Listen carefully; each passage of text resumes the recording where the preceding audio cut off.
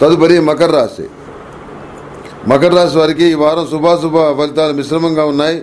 ఆరంభ స్వరత్వంతో కొన్ని కార్యక్రమాలు ప్రారంభిస్తారు. ఉద్యోగస్తులకు ఊరట కలిగించే కొన్ని పరిణామాలు చోటు చేసుకుంటాయి. వ్యాపారస్తులకు మధ్యస్థంగా ఉంటుంది.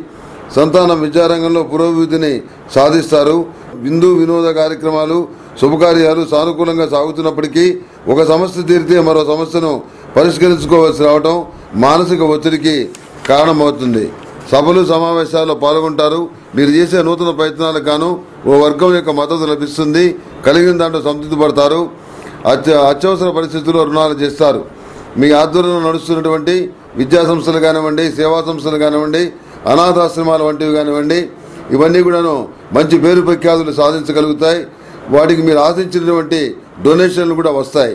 నిష్కారణమైనటువంటి నరదృష్టి వచ్చి ఉంది. శుభకార్యాలని ఘనంగా చేయాలనే మీ సంకల్పం నెరవేరుతుంది. ప్రతిరోజు ప్రతినిత్యం ఆరావళి కుంకుమతోటి మహాలక్ష్మీదేవిని పూజించండి.